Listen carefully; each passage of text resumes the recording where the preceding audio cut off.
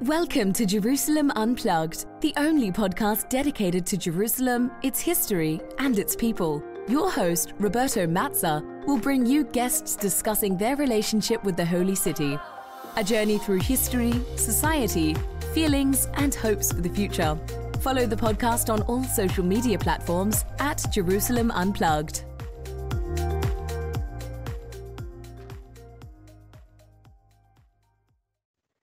Welcome to Jerusalem Unplugged, the podcast.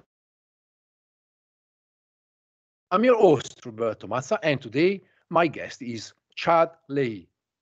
Chad is a assistant professor of Spanish, early modern and medieval Spanish cultural studies at the University of Denver.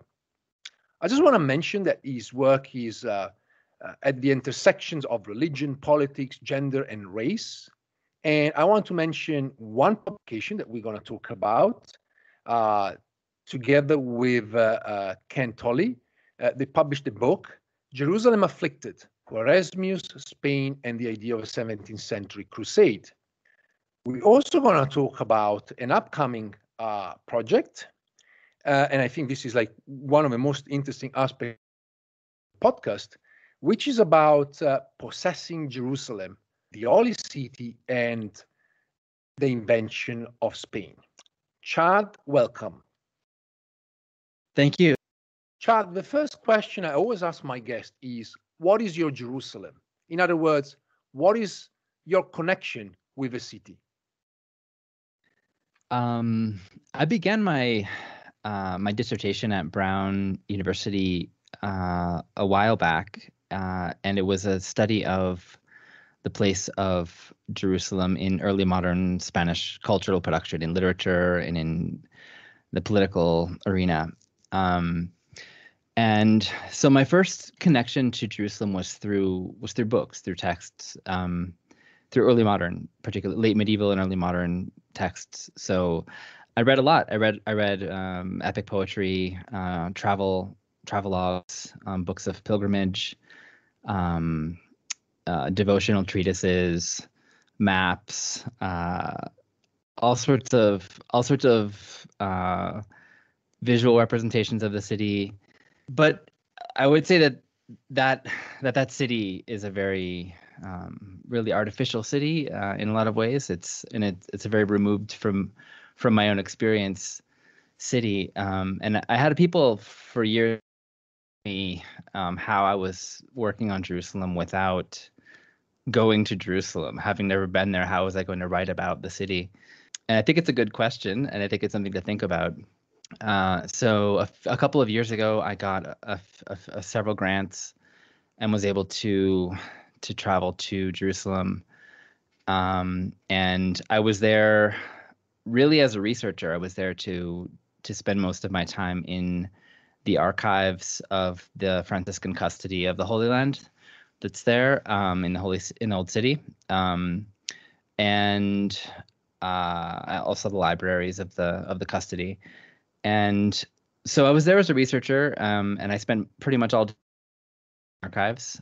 Um, I rented an Airbnb maybe 20 minutes, half an hour outside of the old city, and uh, I walked into the city every day and spent my my time in studying and working. And then whenever I wasn't in the archives, I was walking, walking around the old city mostly, the, all the the quarters of the old city. And I I had a really, I have to say, I've still not entirely figured out my feelings about the experience because I I, I really really wanted to have uh, an emotional connection to the city. I'm having read so much about it and also reading about other people's responses, I, I just assumed that I would also have sort of a really visceral connection in that way or or something. But um, I think I struggled while I was there um, w- with this tension between being a participant in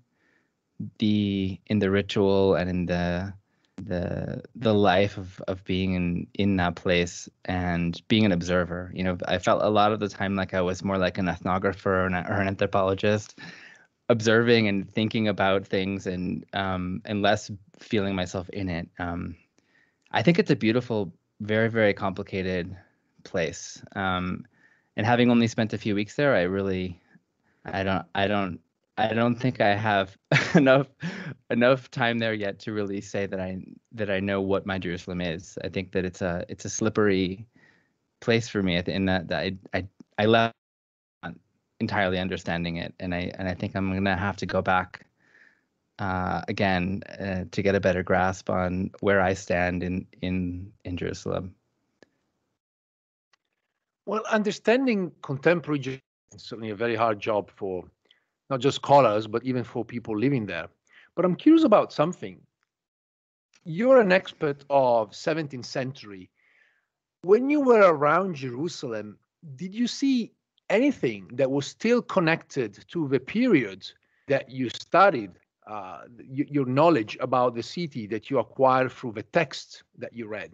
Did you see any hint, uh, anything that was left of that early modern period?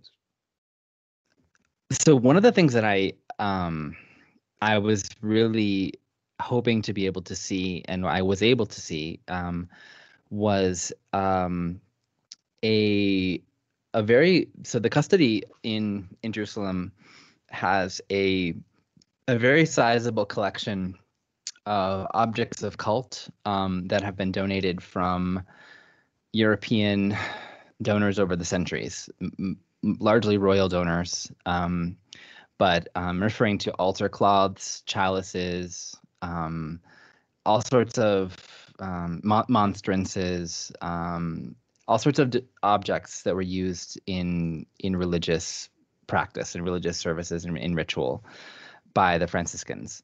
And um, those objects, I think, are very important um, because they are part of a, a very complicated economy of exchange between between Catholic Europeans and the Franciscan custody. And there's a very interesting political and economic dimension to that that that maybe we'll we'll get to talk about.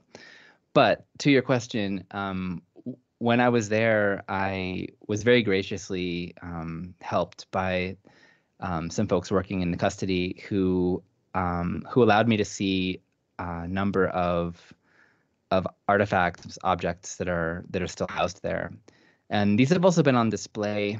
There was an there was a beautiful catalog published a few years ago, on the tre- treasure of the Holy Sepulchre. Um, in I think there's an English and a French version of it. Um, an exhibit that went to Paris, I believe, um, but I got to see some of the objects that came from Spain and specifically from 17th century Spain. And um, there are there's quite a number of of there are quite a number of things that are that are housed there still that are um, that are that harken back to that period that are from these exchanges of material things between Spain and the Holy Land in the 16th and 17th centuries. Um, the most memorable one um, a couple actually. I went to to um, they invited me to a mass that was being um, that was being said in in the the rotunda right right under the in in, in the Holy Sepulchre. The altar, the the front of the altar um, for that for that mass, they they adorned it with a very very large um, like a bas relief silver um, silver piece that covered the front of the altar which was from the period of Philip IV, um, and who was who was who reigned in Spain um, in the early mid mid 17th century. And um, they also showed me um, a after a different mass that I attended, absolutely gargantuan um, object, which was uh, a gold um, I don't remember now exactly what it was. I, am only remembering what it looks like. Um, I don't know if it was a monstrance. Um, it might have been a monstrance, but it was a huge, huge piece. I, it stood many feet tall, all made of gold and silver, um, engraved with the name of Philip IV, this same this same monarch that I'm mentioning, also encrusted with gems and jewels and and things. Um, and just a really tremendously ostentatious piece of of um, royal performance of uh, devotion to the holy places um, sent from the King of Spain to the Franciscans. Uh, and uh, that's just one one piece, but also some vestments and some other things that were from that same period. So I'd, I'd say that those those artifacts really stuck with me because they're so they're so striking. The the rich material culture from that period that not only is it there, you know, as museum pieces, but the the friars that are that are there continue to use those pieces, um, some of them anyway, in in their in their ceremonies up to the present day, which I think is really interesting um, that they that they get brought out for for special occasions. So um, that was probably my my own my own personal response to that question is is those artifacts really really stuck out. They're they're they're very very impressive, and they're part of this huge um, exchange of things sent uh, from Spain, from other places, from Italy, from all over, to um, to the Franciscans in the Holy Sepulchre in particular. Yeah, I just want to mention uh, to the listeners that uh, the Custody of Holy Land is a Catholic uh, uh, run by Franciscan institution. In fact, probably one of the oldest religious institutions in the city. And essentially, it works uh, like an international corporation because uh, by statute, um, the various roles are basically appointed according to nationality. So the custos which would be uh, sort of a, the leader, uh, is Italian, or must be Italian, in fact. And then a number of other roles are, are covered by Spanish and then by the French, uh, English, Americans, and so forth. So every nationality has essentially a place uh, in the ruling of the uh, custody of the Holy Land. And their job is essentially to protect the holy places in the broader Holy Land, which includes um, uh, what nowadays is Israel, Palestine, Lebanon, parts of Syria, and even Cyprus.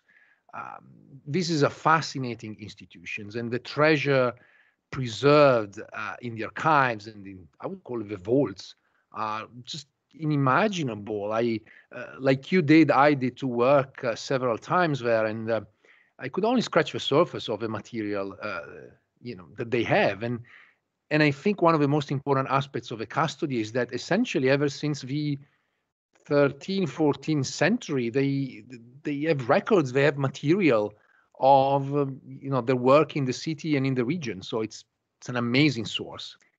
Having said that, I wanted to ask you something about um, Jerusalem in the 17th century. I, I, must admit I don't know much other than obviously uh, Ottomans took over from the Mamluks but other mm-hmm. than that, and you know, the question of uh, of the walls, uh, and obviously redesigning and pouring some more the economy of a city. But I must admit that I don't know much, and in fact, uh, I feel like there's an historiographical gap. So I was wondering through your readings, uh, how was Jerusalem entry? I well, I have to preface this answer by saying that my my own understanding of that question is uh, definitely biased by the sources that I'm that I'm familiar with. So I um, I work with Spanish Catholic sources primarily, um, sometimes Italian sources, um, things in Latin, but that leaves a huge a huge gap in in my my understanding of the period because I'm not working in Arabic and I'm not really working with Ottoman sources. Um, so I, although I can read, I can you know I can read a translated collection of firmans or something, and uh, and get a sense of things. Um, the sources that I most work with are are these um, Spanish sources. So, having said that, um, um, so if you read those sources, and I'm referring to um, both of the archive at the custody as well as the Archivo Histórico Nacional in Madrid, um, they have a whole section of documents um, that that are part of the Obra Pía de los Santos Lugares, which which I hopefully we can talk about later on, which is a um, a sort of dependent agency within the Spanish Ministry of Foreign Affairs. And what I would say generally about all these all these sources is the picture that you get from the city from the Catholic Spanish perspective in the period is that place because it was under Ottoman control. Um, there were Ottoman authorities who, and this is, I think, still the case that you know technically the the keys to the to the sepulcher. Um, that, that but there were in in lots of different ways movements in and out of out of sanctuaries and through the city were constrained by Ottoman authorities who, according to these sources, often describe them as very ex. There's lots of extortion and bribery and money that needs to be paid for fines, for infractions, for just entering and leaving places. So it's a it's a huge money suck that's constant. And there's also a very um, tense relationship between Franciscans and other Christian um, communities in in the Holy Sepulchre. In particular, the the Greek Orthodox community is, is represented as as as absolute incarn- incarnations of evil. They're always out to plot against the Franciscans, to take away territory, to undermine their efforts. Um, there are um, a similar similarly applied to the Jewish community of of the Jews conspiring with the Greek them out of certain places.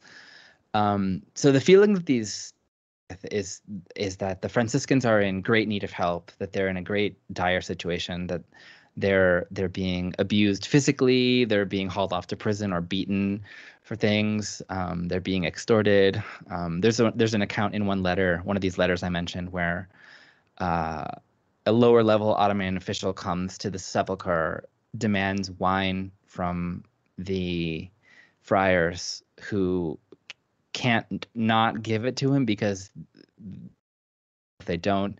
And then when they do give it to him, are then punished because they gave wine to him. So um, that kind of that kind of damned if you do, damned if you don't, um, caught between a rock and a hard place um, rhetoric is is uh is a really really uh, core element of so many accounts of the city.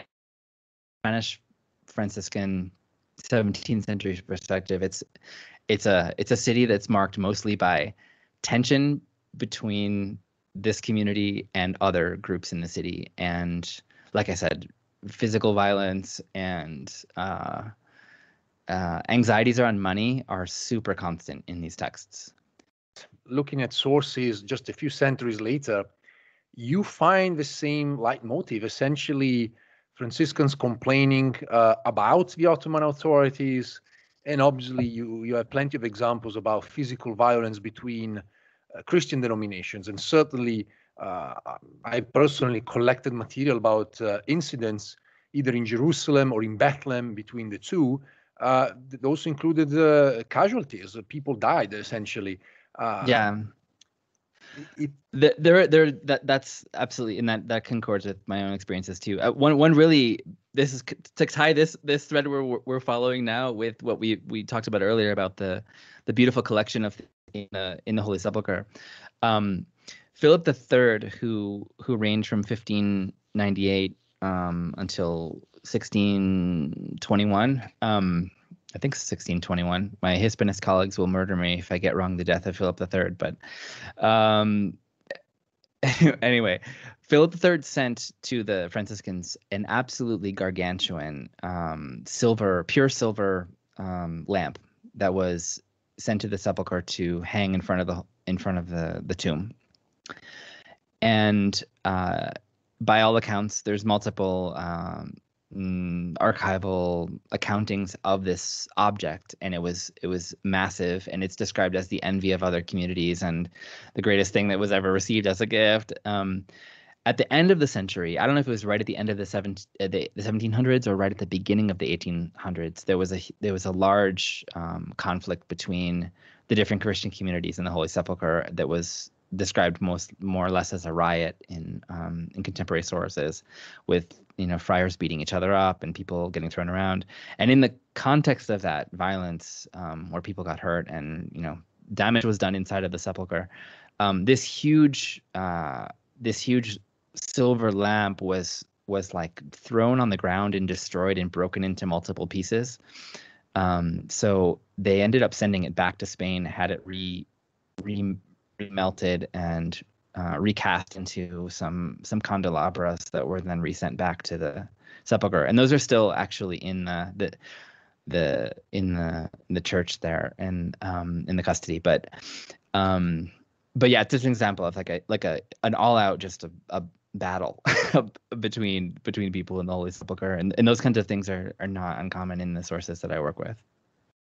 Well, and at a lower degree, those battles are still there. I mean, there's been a change of pace and a change in the language, but uh, you know we're still there in many ways. I want to ask you I think something. so. European had an interest in Jerusalem for different reasons, in different ways. Uh, titles, uh, you know, the, the, the throne of a king of Jerusalem, or properties or protections over uh, the various Christian communities. When we think about 21st century, it's hard to think about Spain and Jerusalem. So, what was the relationship between Spain and Jerusalem back then? How how come Spain was so interested in uh, uh, in Jerusalem? That's a phenomenal question. Um, the answer is maybe a little long, but I'll, I'll try to I'll try I'll try to give a a good answer. Um, and and this in this narrative that I'm about to to tell you, I I is a narrative that is in the 21st century official state discourse. It's a, it's it's a part of how Spanish um, official accounts of its of of the Spanish royal past continue to um, memorialize and remember uh, the the the connection, an intimate connection between Spain and Jerusalem that dates back many, many, many centuries. And so that history um, you can find, for example, in the Boletín Oficial de Estado, which is the official state bulletin in Spain where official acts of the government are published. Um, I mentioned earlier the the pious work of the holy places, the Obra Pía de los Santos Lugares, is a is a um, an organism that still exists. It's been sort of secularized and neutered in a little bit of a way, but it's still there as an as an official piece of the government. Um, and in both official state bulletin, um, you know, for example, when they have to, you know, re um, renew the the annual budget, for example, and there's something that alludes to the to the obra pia, um, you you encounter this rehearsing of the narrative that Spain has had over the course of many, many centuries, a very, very intimate, very close, and very meaningful connection between the Spanish crown and Jerusalem as a city, as a place, as a sacred place, um, and in particular also between Spanish crown and the Franciscan custody. So, those connections that you see in these sources, that up to even the 21st century, um, they really harken back to the 14th century um, during the period when the Aragonese crown was invested heavily uh, in uh, in the 15th century, in particular, expanding into the Mediterranean. And I say the 14th century because in the 14th century, um, Mallorca, um, who were the monarchs in Naples. Um, they were the um, they were also the titular. Uh, he was Robert of Anjou was the king of Jerusalem as well, um, through a, a, complicated series of claims, and you know there there are no shortage of claims to the throne of Jerusalem in the period. But Robert of Anjou in Naples claimed the throne of Jerusalem, and not only that, but Robert and Sancha also negotiated with the Mamluk um, Sultan um, th- for the purchase of the the material properties that would become the foundation for the Franciscan custody. So, Robert of Anjou and Sancho of Mallorca, there, there, the the custody um, wouldn't necessarily have the form that it has because they um, donations or those initial you know material places. And there's a there are a couple of papal bulls that recognize this like gratias agimus um, is the probably the most uh, instant uh, if you go you know even if you go to the website of the custody it's still sort of there's a history that re- that references that right? So um, where aragon comes into this is that aragon in the in the 15th century in, in particular 14th century 15th century was was a maritime dynasty expanding uh, very forcefully into the Mediterranean. and conquering territories and sort of spreading their spreading their their commercial uh, and, and and maritime empire across to the east. And um, as part of that, uh, they eventually acquired Naples, the king, the kingdom of Naples. And when they did that, a lot of the same uh, claims to Jerusalem that had been part of the the Neapolitan crown, such as the claim to the throne of Jerusalem and also this foundational claim of having established the Franciscan custody itself. Those claims were absorbed by the Aragonese crown. Aragon sort of appropriated those as part of a royal patrimony that then became part of Aragon's patrimony. And when the Catholic monarchs Ferdinand and Isabel were were were married and uh, united the crowns of Aragon and Castile, and and you know this is a sort of complicated thing, but um, it, you know m- modern Spain has its origins around around that period, and there's different ways we can account for that or, or think about it. Um, and even talking about Spain in the singular in this period is a little bit problematic, but I'll just say that um, Spain, uh, under Ferdinand and Isabel, also um, under the, under the, the under Ferdinand and Isabel, these these same claims to a super intimate connection to possession of the holy city as monarch of Jerusalem, and also um, protector and patron and foundational sort of establisher of the Franciscan custody. Both of those Neapolitan claims became part of Spanish patrimony. And in the context of the of of the Italian wars of the 15th and 16th century, which were kind of a big messy messy business um, involving especially Spain and France.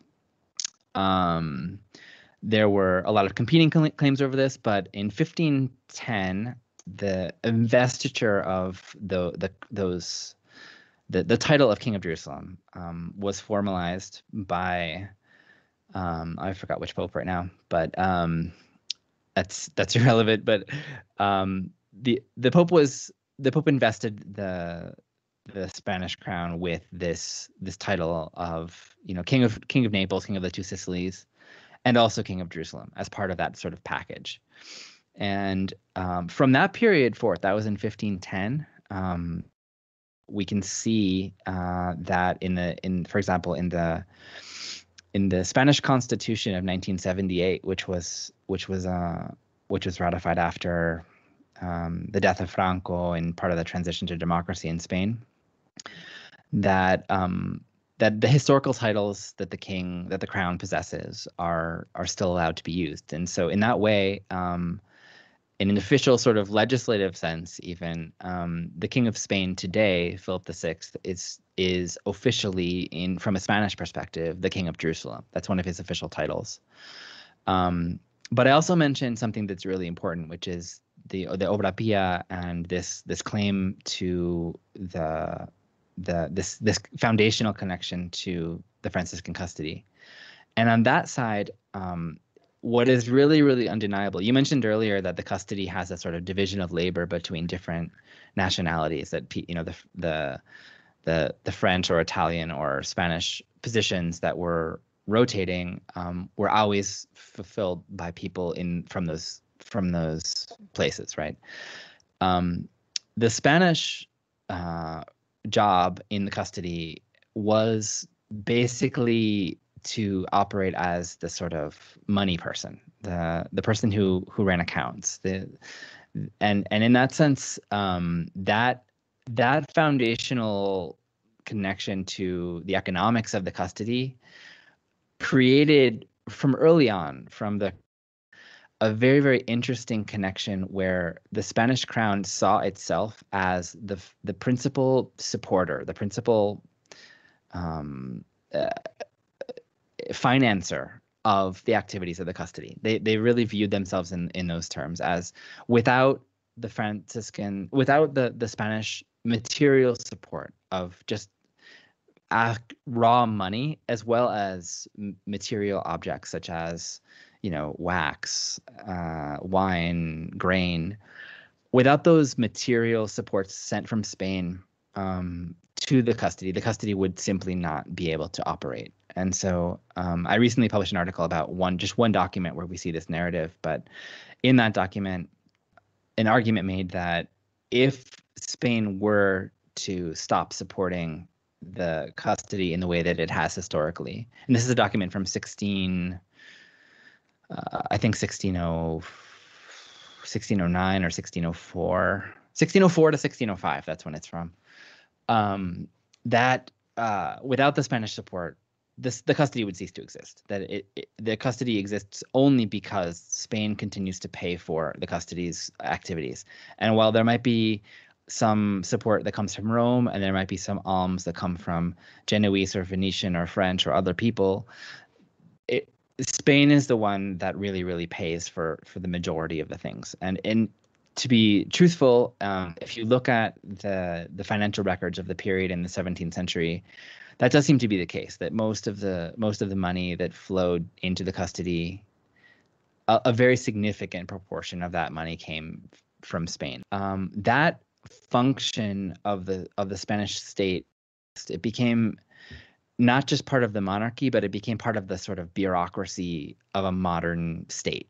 Um, and this happened under uh, a king named Charles III, and and th- there are there's an interesting document where he um, he decrees that this is now that, that this this alms providing this support of the custody is something that is central to this to the operation of the government and that it's um, it's going to be you know taken over by you know the the bureaucracy basically. Um, and so into the you know the 18th 19th centuries um, by the by the 19th century we be, we get what you know what would then become the the Ministry of Foreign Affairs in Spain and is now the Ministry of Foreign Affairs and Cooperation. Um, and that thing that that was these charitable um, devotional mm, donations and material support over the course of centuries um, became uh, institutionalized as the Obra Pía de los Santos Lugares, the the pious work of the holy places. That's the name of that organization inside of the Ministry of Foreign Affairs. And the Obra Pía has continued to operate and what up into the present. The Obra Pía um, has evolved in its mission and, and in the present day it, it's viewed as more sort of a a group that uh, a place to house diplomatic activity um, between Spain and and the Holy Land in a, in a sense, but um, uh, so it, and it's really sort of lost its some of its um, more explicit framing as part of Catholic devotional practice. There's an article that came out a couple years ago um, outlining the kind of progressive secularization of the Obra because you know it's called it's called the pious work of the holy places, so it's hard to secularize something with a name like that. But that's uh, it, it has um, it has become um, a, a, you know a fixed element of the Spanish state up into the present, and so in, on those terms, just on the sort of in terms of diplomacy and in terms of economics and in terms of material connections, and also in terms of what from the Spanish side is a legal argument that um, the, the the the Pope recognized and invested the King of Spain with this title, and so now it's an official part of the Spanish crown. For all of these reasons, um, Spanish sources over the course of centuries insist on a really, really special and important connection between Spain and the Holy Land. Spain, the King of Spain, literally is the King of Jerusalem. He literally possesses the material places that are the Holy City. And the Ottoman or Mamluk or whatever presence there, I suppose later British and whatever, that those those are less so in the present with with the, the modern state of Israel, but that rightfully Spain owns Jerusalem, and the fact that the Ottomans are in Palestine is just an accident of history or of divine retribution or of uh, or whatever things. But the fact that that they're there and not the king of spain is an an aberration. It's a problem and it's and it's an anomaly.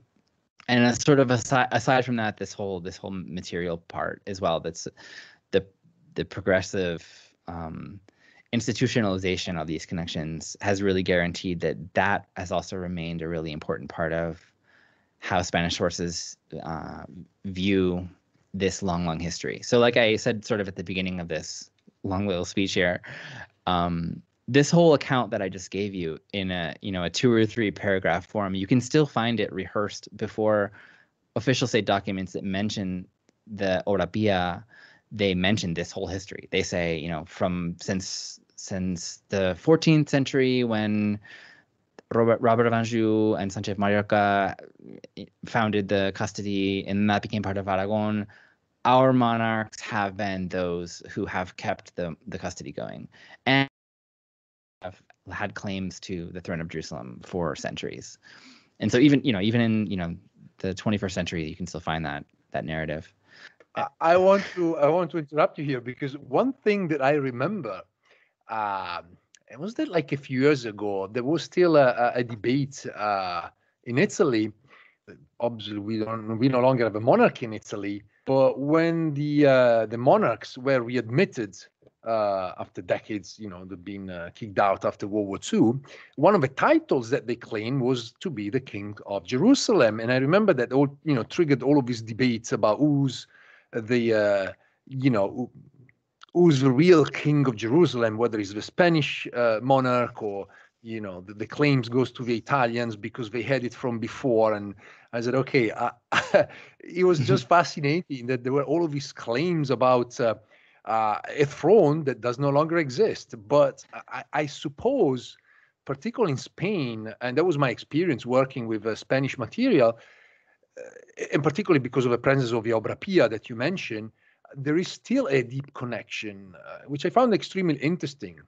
Oh no, I was saying yeah, absolutely, and I think that even even th- through the 19th, 20th, up to the present 20th centuries, um, there has there has been a, a, a Spanish cohort of friars that are are continue to carry the banner of a sort of national pride over over all these connections. They're they're very proud of of these connections and very proud of the of the things that have, in a sense, uh, you know, entre comillas, bel- belonged to Spain. Um, you know, bu- buildings and and sanctuaries that were founded by or or paid for by this this a lot of national pride among the Franciscans in, in Jerusalem over the course of you know many, I want to say even generations, but de- decades. Um, there's been a, a Spanish cohort in in the Holy City that's kept that flame going.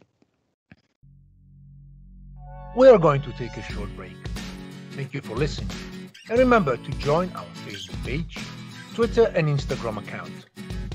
If you have a story about Jerusalem that you want to share, or someone that you want me to interview, please get in touch. Enjoy the rest of the show. This is a unique form of colonialism, honestly, because it's uh, it's not about possession of land, of control of land, but it's more about uh, some sort of image, uh, you know, sort of belonging to a place and connecting the city with the, with the history of a country. I have two more questions, and very much about your work. The one that you are working on, and maybe a short uh, uh, sort of a question about uh, the previous work. In your current work, you're talking about possessing Jerusalem, and essentially, you're already talking about this this idea of the Holy City and connected to Spain. But you also use this very powerful word, the invention of Spain. So my question is, how does Jerusalem actually contributed to, uh, you know, the invention of Spain? How does this relationship work? I think it's uh, like you, like you said, it is a very complicated and and in a, in a sense strange form of colonialism because of of the fact that there might be a territorial claim built into this, but it's it's um, there's an intangible element as well, the sort of symbolic capital of possessing the most sacred site on in, in human history in the most sacred material location on the planet. Um, having a having a connection to that and in a, in a sense is an, is an interesting form of control and and and an exercise of power. Um, so, but yeah. Anyway, uh, I think that the the the way to answer your question is uh, that it, it's a complicated question, right? But I, I would say that the the primary way that the the Holy City um, serves to imagine what is Spanish essence, what is what is the the nature of Spain, who are Spaniards, what is Spanishness, um, has to do with a claim to a particular sort of holiness, um, a particular sort of specialness of a, a kind of no, notion of chosen chosen people. Maybe. Um, there's definitely a big supersessionist um, logic in this that that Spain are, Spain is in the in the 16th and 17th century that Spaniards are the new Israelites, the new the new chosen people. That's not a unique phenomenon to Spain. You know, everybody wants to be the new chosen people and the new the new Israelites, um, and that's a very mobile a mobile idea as well. Um, but it was a very potent one in Spain. So um, I think that in in uh, in lots of ways the the discourses and practices which are, are material you know as we've seen in political and, and legal and diplomatic and economic. Um, and also that take place very very much in the realm of cultural production and in literature and in the, in the world of ideas and in, in visual material you know um, representations of the city. Um, this whole vast array there's like a sea of materials that in all sorts of different ways are constantly sort of crying out that Spain owns Jerusalem. So what those what all these materials are doing in, in all these different genres is in different ways creating an entire sort of cultural and political and social matrix where the idea that Spain has a special connection to Jerusalem becomes uh, a very, very important part of of the world, the the the way that things are in in 16th and 17th century Spain.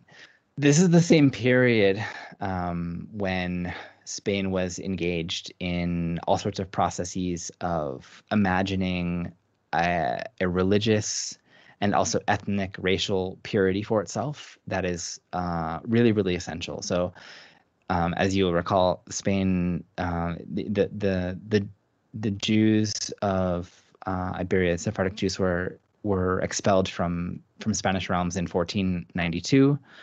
Um, the the Nasrid, the last Muslim dynasty in in the Iberian Peninsula, was also uh, conquered by Ferdinand and Isabel in 1492. And in the subsequent years, not too too long after that, all of the descendants of the Muslims who were living in uh, in in Spain were forcibly converted to Catholicism um, and this follows the massive conversions of um, of Jews from 1391 onwards. And these uh, these mass conversions, coupled with um, you know the the colonial project in the Indies, where conversion was also really really important, um, they all coalesce to create a, a society which was also heavily policed, right, through the organization of the Inquisition, a society that was very fixated on forms of imagining purity, forms of imagining purity in terms of religious practice of orthodoxy, but also forms of purity in terms of blood, in a sort of biological, genetic, um, racialized sense of, of identity.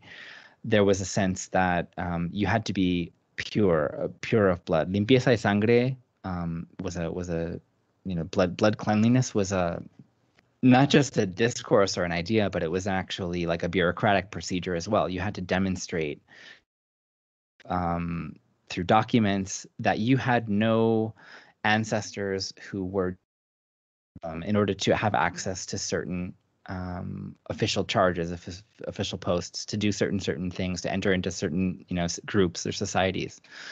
Um, so that sort of mm, in, uh, I, I don't want to say obsessive, but obsessive, yes, obsessive fixation on notions of purity, whether religious or or racial, ethnic, in terms of blood, um, has uh, is is really really draws strength. I I argue also from Spanish connections to Jerusalem.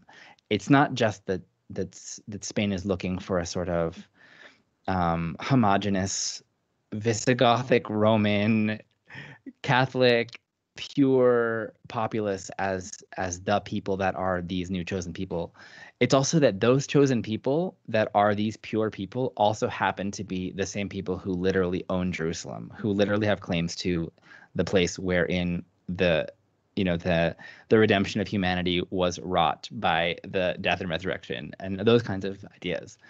And so that um, that connection to the holy city, I think, is a really really potent driver of these these ideas. And and it's not just in the context of an of an autochthonous project project where having you know deriving um, inspiration from its own claims to the holy city but it's also uh, a tool for international relations as well. And i think this is very interesting. It's not just that spain's people internally are are being um, cast as as special or pure um, it's also that Spain, relationally on an international scale, is also using Jerusalem to position itself. Jerusalem is a tool through which Spain positioned itself on on a geopolitical level, um, both in its relationship to the Ottomans, which is kind of obvious in in the Eastern Mediterranean, and to Maghrebi polities all across you know North Africa, with which Spain had constant you know conflict and and there were explicit um, crusading uh, in the early 16th century, cr- even you know explicitly cast as crusade efforts to take places, um, conquer places in in North Africa, and that's a really really important part of the colonial project as well. But not just not just the the Muslim um, other, let's say, of Spain, um, but also um, a way of of mediating or relating to Christian polities as well and especially with France, because France has such an intimate connection to Crusade and to the Holy City.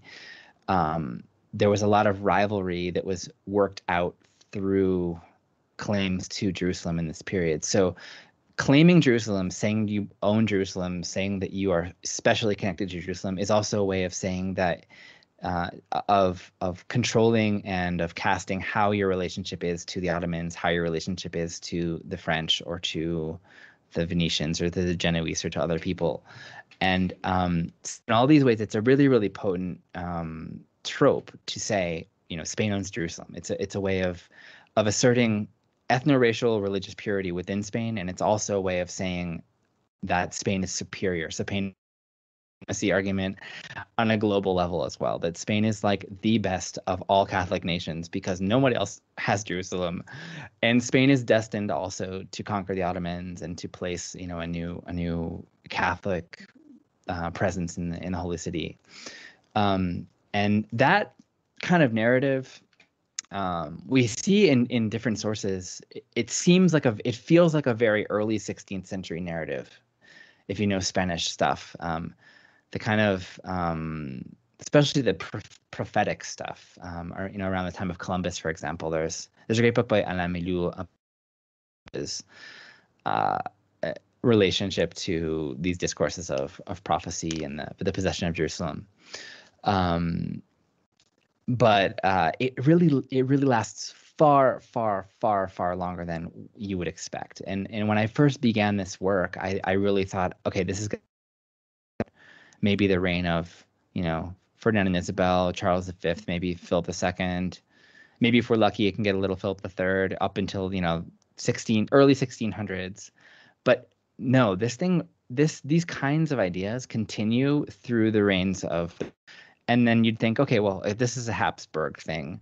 But shortly after the the War of Succession and and the the the the the peace of Utrecht and all that at the beginning of the 18th century, there there continue to be th- this insistence on these narratives. There's a really interesting history written by uh, a friar, but I want to say 1712 or somewhere in there. I'm not really exactly sure of the year now, but um, in which he rehearses all these same things and he reminds the monarch, listen, you're the king of Spain, your ancestors, people whose throne you now inhabit are those who have kept the the custody going. And that sort of argument continues as i said through the you know charles iii in the 18th century and you continue to see it in sources. Up until the 20th century when there's a massive i think um, recalibrating of this and reappropriating of it um, obviously for the, the, the national Catholic discourses of of Franquism, um, Francoism, the the you know General Franco's dictatorship of the 20th century. Um, really, really loved the idea of crusade of of the national Catholic project as a crusade, and not only that, but in the you know in the 1950s, for example, in 1954, 55, um, Franco oversaw an exhibit of the Holy Land that took place in Madrid in the in the the Parque del Buen Retiro in in downtown Madrid, um, where they transported literally thousands of artifacts of archaeological remains. Um, they had um, they they had they had water brought from literally from the River Jordan. They had literal sheep transported from the countryside in Bethlehem to Madrid that were on this topic. They also had um, they had a uh, a number of um, physical recreations. There was a life-sized model, for example, of the the aedicule, the the the the structure of the tomb that's inside of the rotunda, inside of the Holy Sepulchre. The life-size, basically making a new Jerusalem, literally in Madrid, um, and that that that thing lasted for over a year. That exhibit. Um, but as part of that exhibit, there was also a, a hall of uh, one of the halls in the exhibit dedicated to memorializing the particular connection between the Spanish monarchy and all of this. That Spain, in a sense, this this exhibit casts Franco as the inheritor of that same legacy.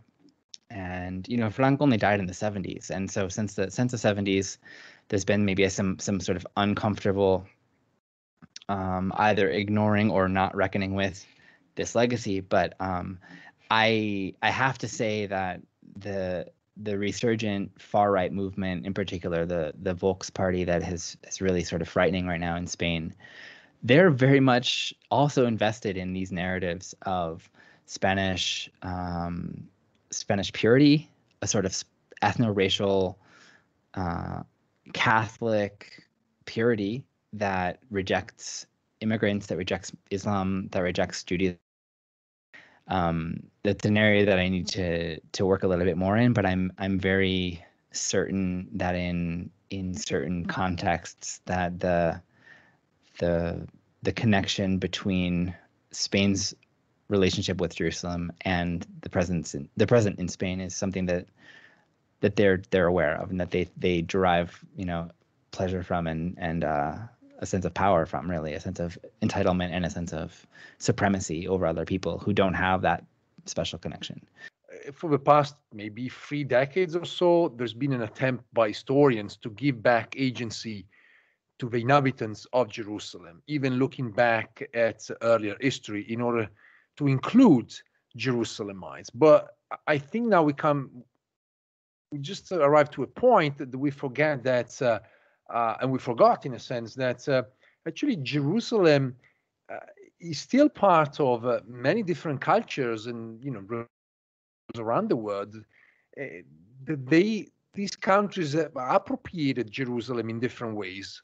Um, and sometimes we, I, I, I just realized when you were talking about it that I mean we we need also to add the elements in order to understand the city itself, because there is a real Jerusalem where people live, have their daily businesses, but there's also this projected Jerusalem.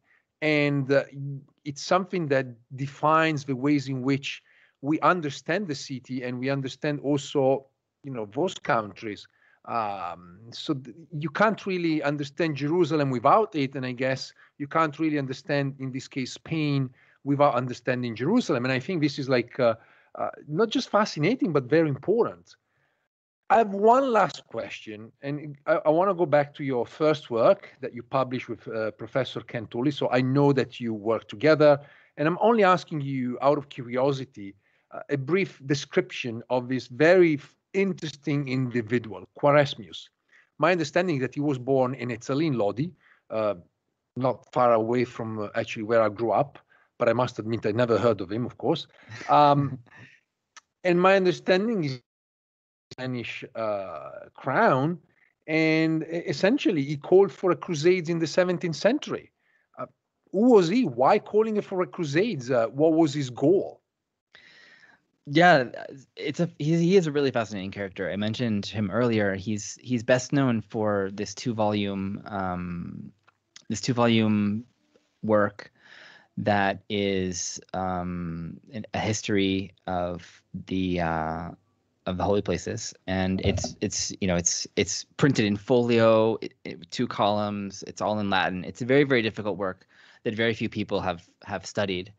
In 1626, Quaresmius was um, at the time um, living in Jerusalem. He lived in Jerusalem on a number of occasions. He also traveled widely throughout um, you know, Syria and Egypt and other places. He was on a he was on a papal mission at, at one point for um, you know to um, strengthen ties with the Chaldeans and Maronites, and um, so he he had a a number of different roles that that connected him to the custody and to uh, Christianity in the East. But in 1626, he delivered this sermon to Philip IV, who was the monarch I've mentioned a few times. And this sermon um, was printed in Milan in 1631.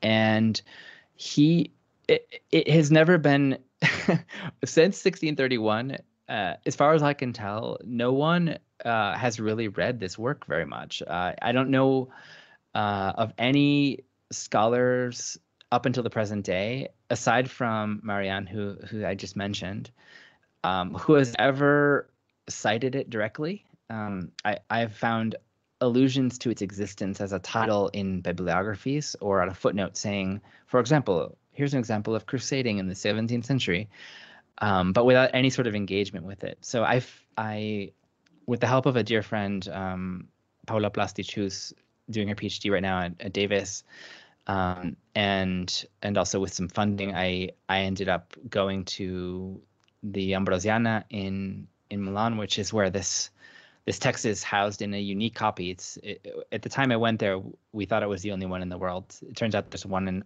Buenos Aires as well, which I also got my hands on.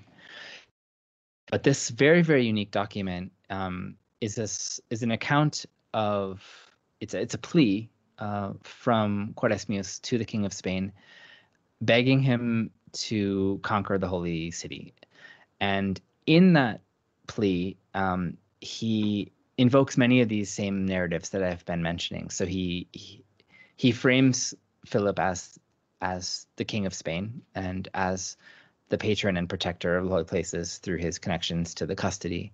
He also mentions in the context of the sermon that Philip is the um, the Grand Master of the Order of the Knights of the Holy Sepulchre, which was something that is a little bit debatable because it that there was a move in the 17th century to to name Philip II as the Grand Master of that order, and that that wasn't ratified in Rome. But that doesn't mean that the crown didn't like to assert that they were grand masters of the Order of Knights of the Holy Sepulchre. Anyway, so um, so in 1626, this this very long, it's a 74 page um, sermon, uh, lays out the the case that the king liberate Jerusalem from Ottoman tyranny.